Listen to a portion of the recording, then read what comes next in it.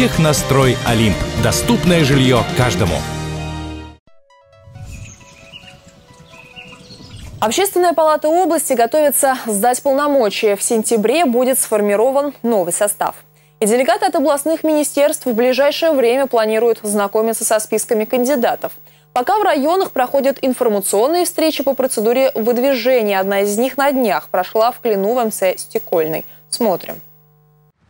Отбор кандидатов в Общественную палату области стартовал 3 мая и продлится до 2 июня. Подать заявку может любой житель Подмосковья, отметивший 18-летие. Но при условии, если он представляет некоммерческую организацию. Самовыдвиженцы на этот раз не рассматриваются. В общей сложности корпус Общественной палаты объединяет 99 человек. Из них по 33 кандидатуры представит губернатор, регион, а также округа и районы чтобы у нас были представлены широкий спектр направлений деятельности э, общественных организаций и в сфере экологии, и в сфере э, общественных организаций, которые работают в сфере ЖКХ, и в вопросах дорожного строительства, и социально ориентированных национальных э, НКО, и, в общем, национальное направление. То есть это все, кстати, и в Клинском, в Клину хорошо представлено.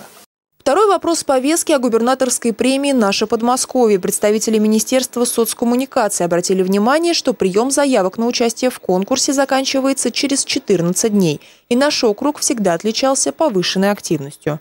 У нас традиционно активно в Клину реализуется, клинчане активно участвуют э, в ежегодном конкурсе премии и, соответственно, активно побеждают. Ведь по статистике у нас каждый десятый проект оказывается выигрышным, и это очень весомо.